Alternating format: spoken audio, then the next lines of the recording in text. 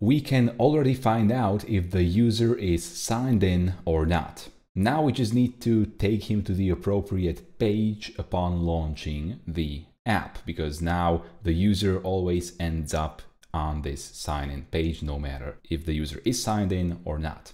And for this to work, we're going to create a splash page and also an auth bloc.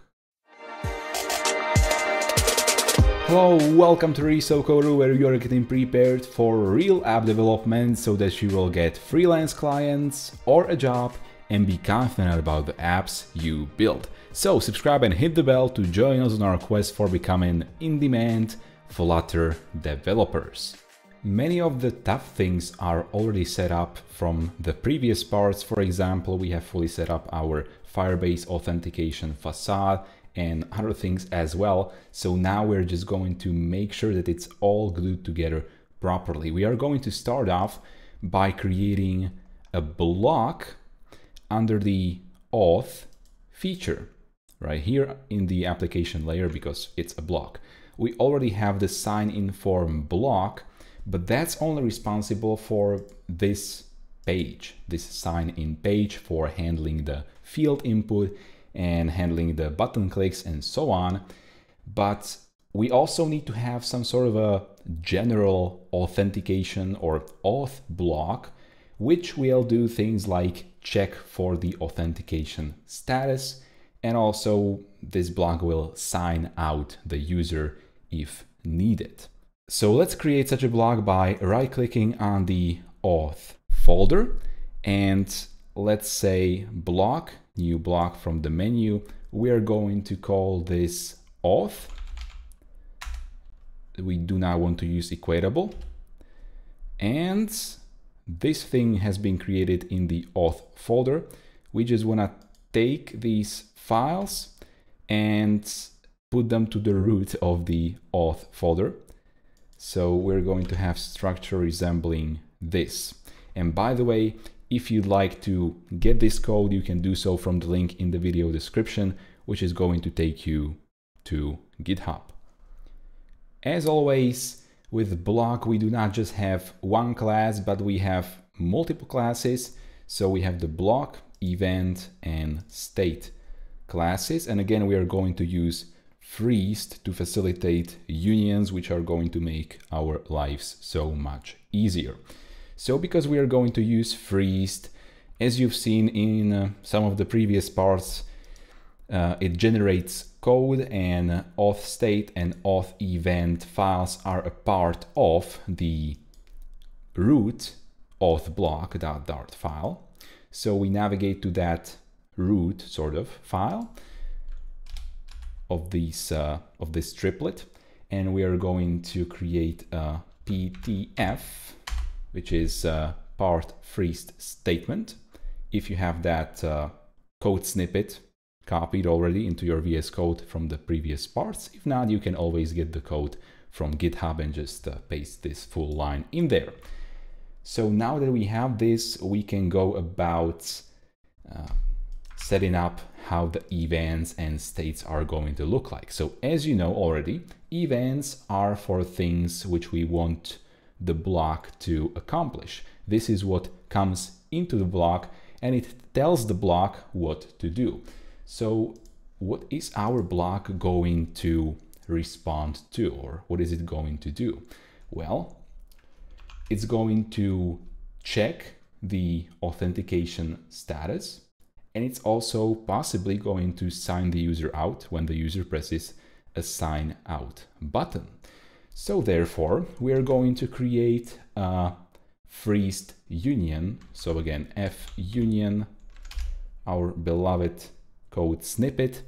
We are going to call it auth event. And the first thing, the first union case will be auth check requested like this. And let's copy the name to the right, but this is the class name, so it's going to be uppercase as it should be. Let's import freezed. So control or command dot.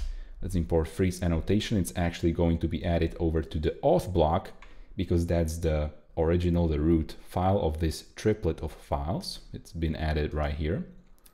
And with this said, let's go over to the event file again, uh, copy the union case below, and the next one is going to be signed out. We are following the bloc naming conventions, which say that you should name your events in the past tense as if they already happened. I'm not entirely sure about this naming convention actually, but since we have started with this naming convention, we are going to follow it. But actually, you can just name your events however you like. Just make sure that you are consistent about it. Consistency is key as always. So what we can now do, of course, is run the build command after we sign or we save the auth bloc file too. So we run the build command. I just hit Alt X and this command is also hopefully going to be available from the video description. So when we run this, flutter pub run build runner watch delete conflicting outputs, this event freeze file is going to be generated. And while we are waiting in the meantime, we can go over to the auth state. And this is also going to be uh, freeze union. So f union, it's going to be called, of course, auth state. And the first one will be initial. Let's also set initial to be the class name.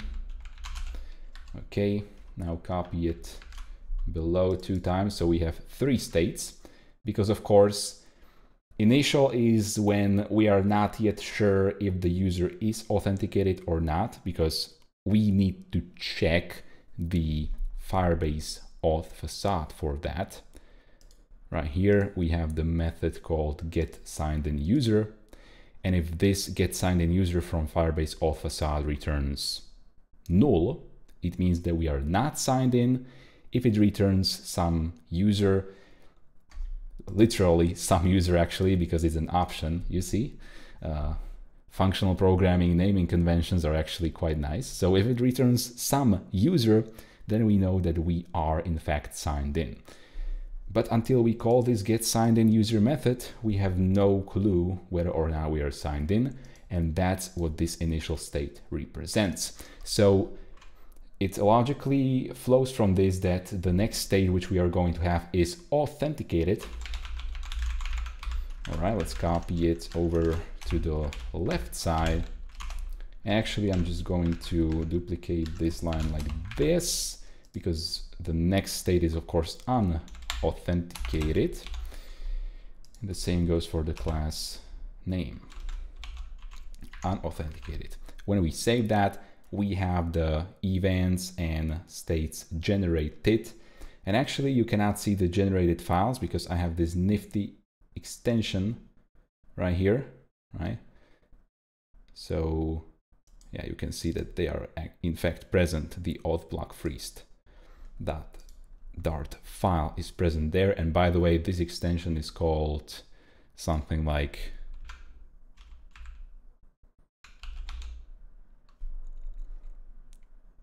toggle excluded files right here. This is the one. So if you want to use it, check it out, toggle excluded files. It's quite nice if you use code generation a lot. Okay, so we have the states, we have the events. Now, what are we going to do when they actually arrive into the bloc, right? Because that's what we are all about, of course. Firstly, we need to fix up our bloc, which currently returns a non-existent instance, which is going to be, in this case, const of state dot initial. By the looks of it, auth bloc is probably going to need to communicate with the Firebase auth facade, but because we are inside the application layer, this means that we are now going to communicate directly with the infrastructure layer, which holds the Firebase auth facade, the concrete implementation. No, we are instead going to communicate with the abstract iAuth facade.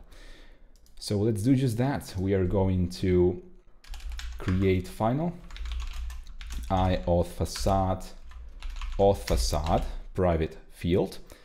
let's hit control dot or command dot and create constructor for final fields. With this done, this would be of no use because we have not yet marked our auth bloc to be injectable. Injectable annotation will make sure that we can, for one, inject this auth bloc or find it with get it. And it's also going to make sure that the constructor is being passed in proper instances, in this case, iAuth facade. So if we take a look to the injection, injection iconfig.dart file, what we are going to be able to see is that we have just registered a factory of type auth bloc and it's being passed an iAuth facade into the constructor. Completely hands-off approach. We did not need to write this horrible code. It was all done for us by the injectable package and that's why it's so awesome to use such code generating packages, even though sure, you need to run your code generation commands, but uh, in my opinion, that's a fair price to pay. Okay, if we come back to the auth bloc, we are now going to implement, of course, the map event to state method. So we are going to yield each because we want to map the incoming events. And this event is, of course, just a freezed union. So we can use the map method. And now we're going to hit Control D or Command D on Mac to select the other null keyword as well. Delete that. And we are going to say bloc events handler, which is a code snippet I have in VS Code and you maybe have it too if you have uh, gotten it uh, from the previous parts of this tutorial series. If not, you can always just write this whole anonymous method definition over here. So with this done, we are now in just a few keystrokes handling all of the events incoming into the bloc. So what do we want to do if auth check is requested? Well, we first want to get hold of either some or none of the currently signed in user. So we are going to call await auth facade dot get signed in user. This returns option user. So we are going to store this inside final user option. With this stored in this uh, final variable, we are now going to yield. So basically return for all intents and purposes from this map event to state. User option that fold and fold is just a simple method which can which is a branch. It's sort of like an if statement. So if there is none if there is no user present which means the user is not authenticated well which state do we want to yield from this map event to state well of course in that case we want to yield auth state that unauthenticated. And because we are using linter with a custom, custom setup linter basically, we now get this squiggly line. And when I hit control dot or command dot, I can add the const modifier automatically like this. And again, if you would like to learn more about linting in Dart, how it works and how to set it up properly, check out the tutorial from the card in the corner. And what are we going to do with this next fold method? Well, we actually do not need its value because it's just a user. If this method runs, it means that there is some user present, which means that the current user is in fact signed in. In that case, we want to return const auth state dot authenticated. Okay, so let's put a comma here, a semicolon at the end to format everything properly. And this is how the auth check requested event handler looks like. Now, what's up with this signed out event? Well, it's pretty simple. We just want to call await auth facade dot sign out and then we just want to yield const auth state that unauthenticated because of course after signing out we are unauthenticated. And now something bad has happened it seems or maybe not. I'm not sure why we had those uh, red squiggly lines under the event and state things files so really not sure about that, but it seems that everything is working properly. Okay, uh, just the analyzer or VS Code is behaving a bit weird today. So no apparent issues are present, which is totally cool with me, if you ask me. Currently, we have only one real page present in the app, and that is the sign in page. But now we are about to start adding other pages as well, and we are going to need to navigate in between them. Uh, in this part, we are going to add the splash page, which is going to decide what to show at the beginning after the user launches the app. That's where we are going to call this auth check requested event from. And in order to navigate to other pages, we can just use the material page route or we can use uh, named routes and set it up all by ourselves or we can introduce another dependency which is going to make our lives so much easier. It's not a golden bullet, but uh, in this case, it's precisely what is going to uh, facilitate easier writing of the code. So I would say let's go for it. It's actually quite a cool library, it's called auto route or auto route, however you want to pronounce it. So we're going to go over to the to the pubspec.yaml file and we are going to use the nifty pubspec assist extension and I'm going to search for auto route.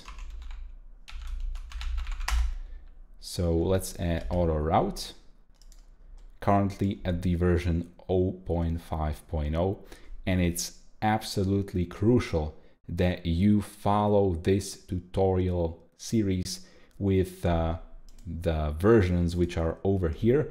You can check out uh, if you're watching this in the future you can check out the finished code over on github which is going to be perpetually updated over time when new things are released but I cannot guarantee that uh, no interface changes are going to happen. So just if you want to follow along, do yourself a favor and uh, use the package versions which are present right now in the pubspec.yaml file.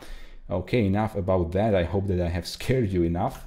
If not, well, uh, whatever, no problem. So now we want to add a dev dependency, which is going to be the auto route generator. And with this done, we can now save this pubspec.yaml file. By the way, autoroute and injectable are both from the same author, and it's totally awesome that he creates these sorts of libraries, Milad Akarie. Hopefully your name has not been butchered by me. If so, excuse my pronunciation. So now, because we have just updated pubspec.yaml, we need to rerun the build command. So let's do just that. And we are going to set up our router because auto route works uh, by code generation again. And it's actually quite simple, even if you don't know nothing about it yet. After seeing how it's all set up very simply, you are going to absolutely love it. So we are going to create under presentation, we're going to create a new folder, which is going to be for the routes. And inside this routes folder, we are going to create a new file router.dart. And over here, it's going to be absolutely simple. We just want to have a class router with a dollar sign before it. And this will contain the definitions or the yeah, definitions of routes which are going to be available in our app. So we are going to have the sign in page, of course, let's call it sign in page. And this is really it mostly. We just need to annotate this class with add, for example, material route or material auto router.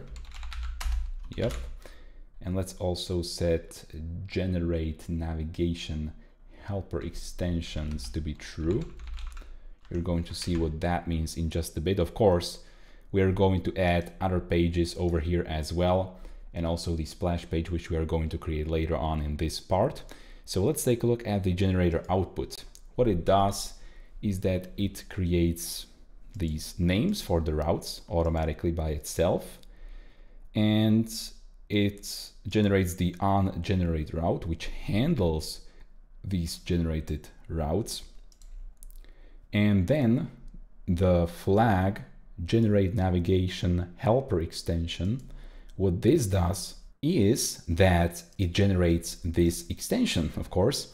So instead of writing push named and the name of the route, we can just call simple method push sign in page on the navigator and it's going to do this uh, push named and the name for us which is pretty nifty if you ask me. You're actually going to see this all in action and I'm losing my voice, but whatever, I'm going to finish this tutorial no matter what. So we have the authentication bloc, which is going to perform the checks and all of that. We also have the preparation for routing, which is going to be simply done by code generation using the AutoRoute library. What we have yet to do is to actually tell our authentication bloc to perform this auth check. And where should we initiate these, this auth check? I say that something like this should happen as soon as possible.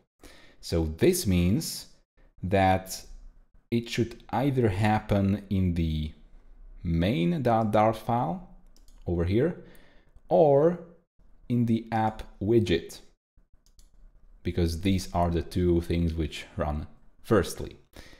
Well, unlike with the configure injection call, which can or actually must happen from within the main method, we have to initiate our workings with the authentication bloc in the widget tree because we want to also provide the auth bloc down the widget tree to all of the routes which are present in our app. So that's why we are going to wrap this material app with a multi-bloc provider. So let's actually wrap it with a widget.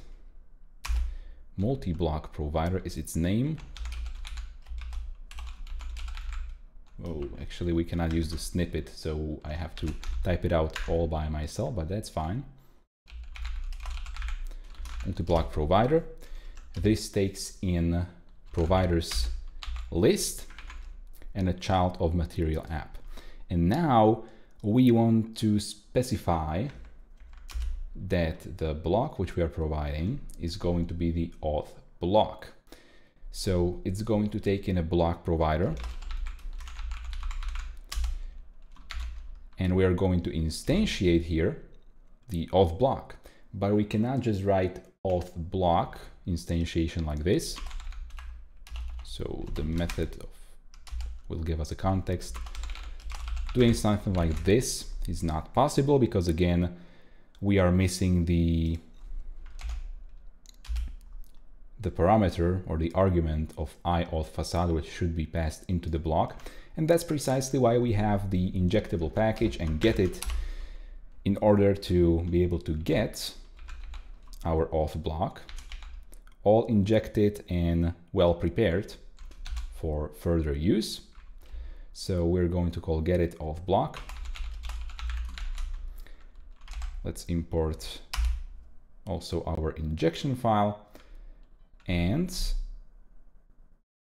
of course we are missing one pointy bracket, but that's fine. So far we are only providing the auth bloc to all of the other pages which are going to be present inside of our app because we are actually wrapping the top level material app and by the virtue of that our bloc is going to be available literally everywhere. What we are not yet doing though is initializing the authentication check. And we certainly do want to do that. So we're going to say add with the cascade operator, so two dots.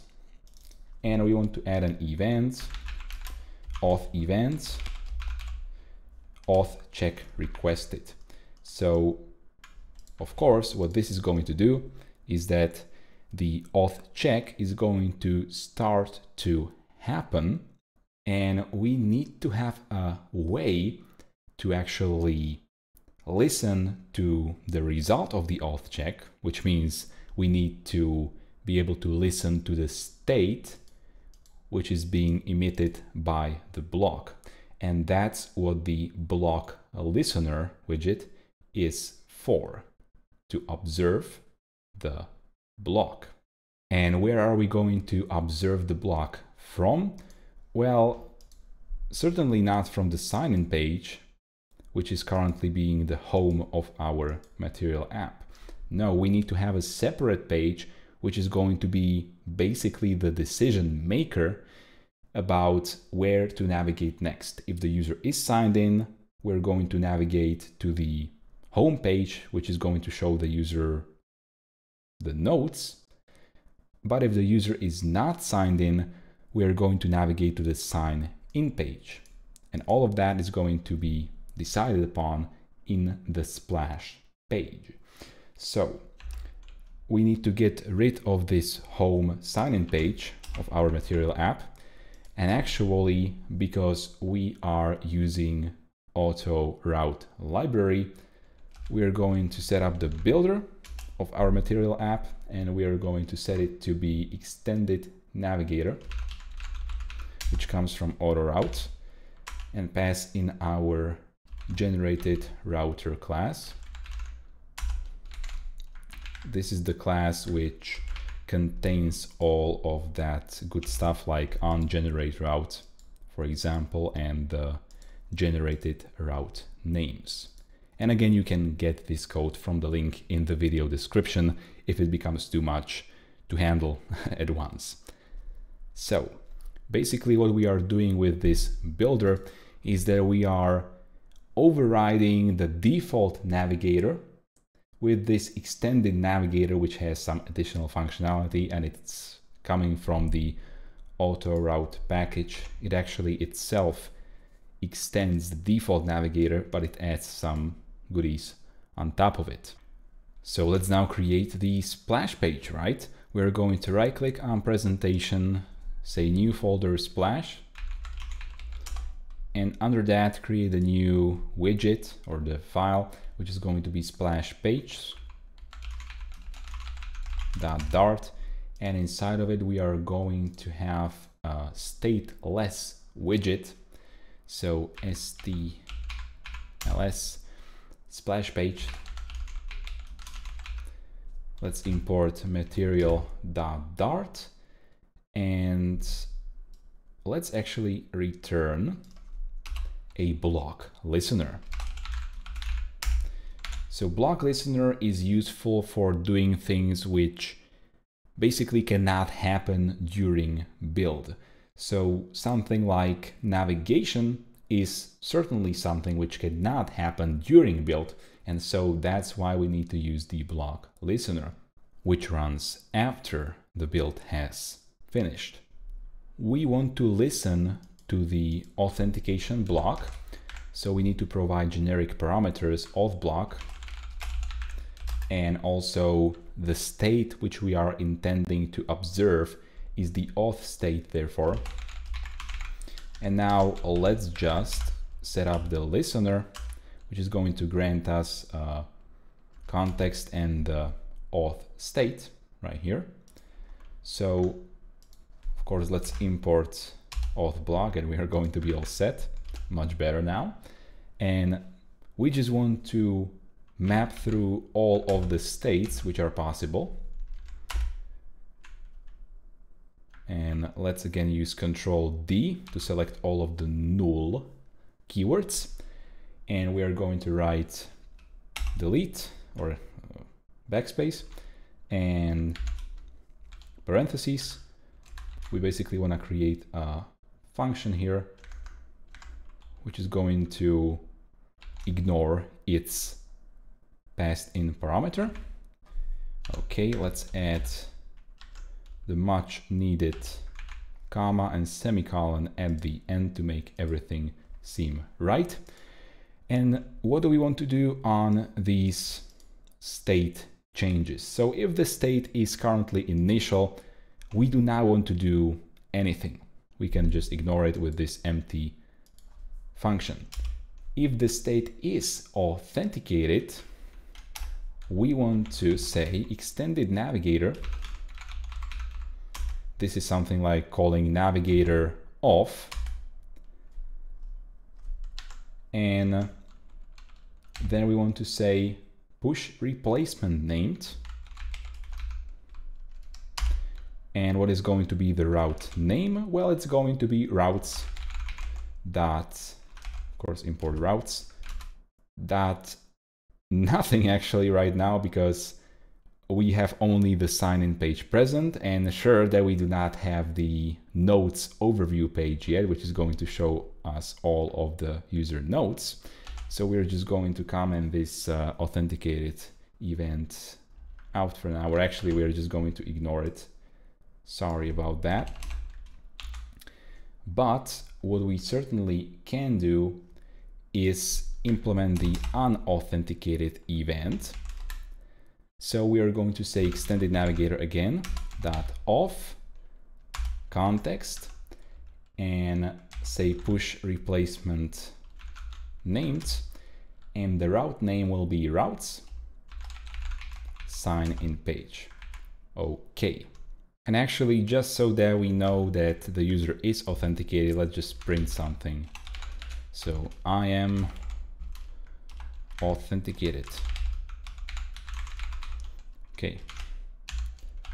And of course we want the splash page to show something because currently it would be just completely black. Nothing would be present over there because bloc listener doesn't have any UI of itself. So we are going to create a child and let's set it to be a scaffold, which is just going to display a simple body which is going to be a center widget holding a circular progress indicator. Like that. And because everything over here is actually constant we can make this whole scaffold constant. And we should be good to go right?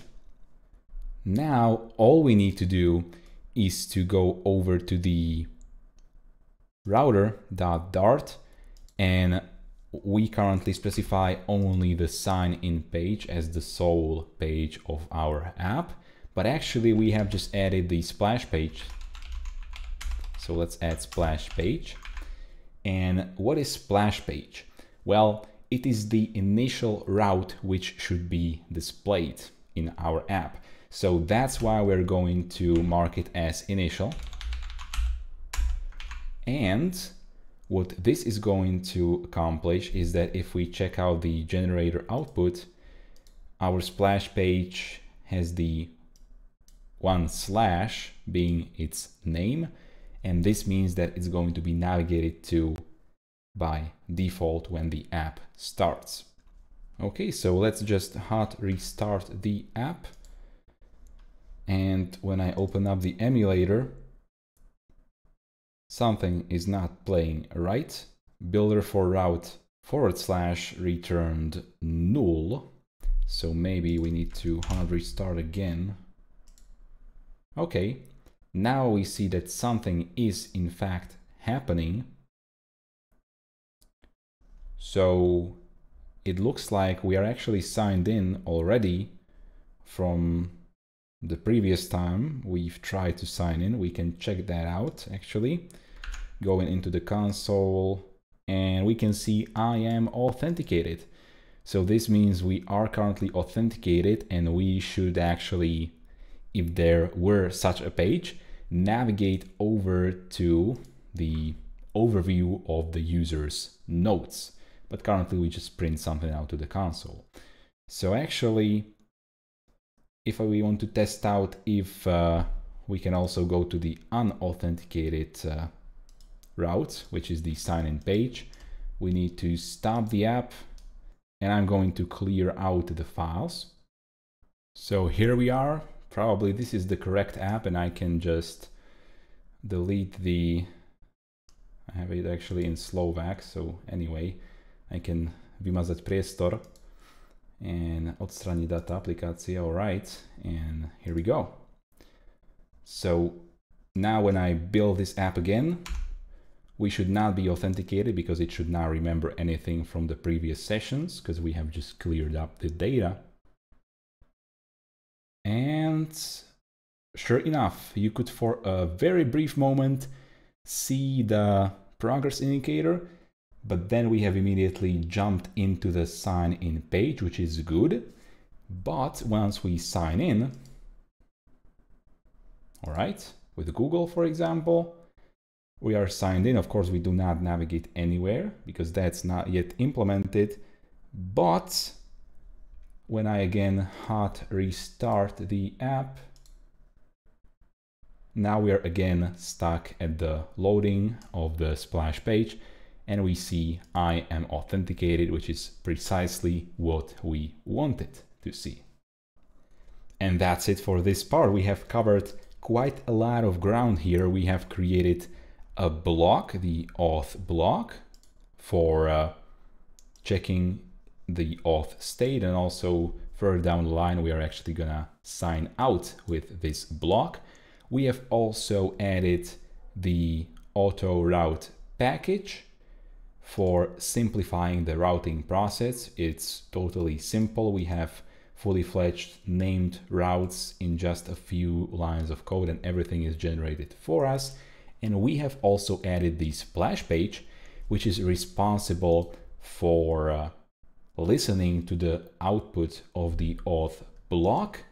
And this is where the navigation actually happens. And last but not least, we have also gone over to the app widget where we provide the auth bloc globally to the whole app, to all of the routes.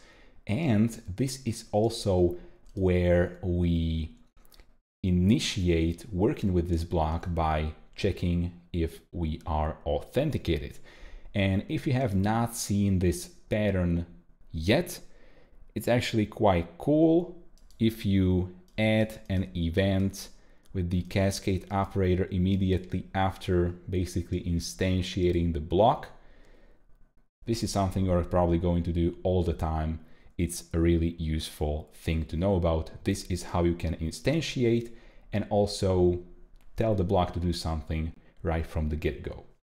If you don't want to miss more tutorials like this, where we go over the domain-driven design aspects till we are tired of it, and also if you want to see some tutorials about UI implementations, some crazy animations in Flutter and all such good things, be sure to subscribe to this channel and also join notification squad by hitting the bell button to make sure you grow your Flutter skills because here on ResoCoder, I am determined to provide you with the best tutorials and resources so that you will become an in-demand Flutter developer. And if you are serious about becoming a great Flutter developer who can build real apps for clients or at the job, go to flutter.education. Link is also in the video description to get the top curated Flutter news and resources aimed at improving your app development career. Over there, you can also subscribe to my mailing list to get the best Flutter resources delivered weekly right into your inbox. If this video helped you, give it a like and also share it with other developers who are surely going to find it beneficial too. Leave a comment if you have anything to say and see you in the next video.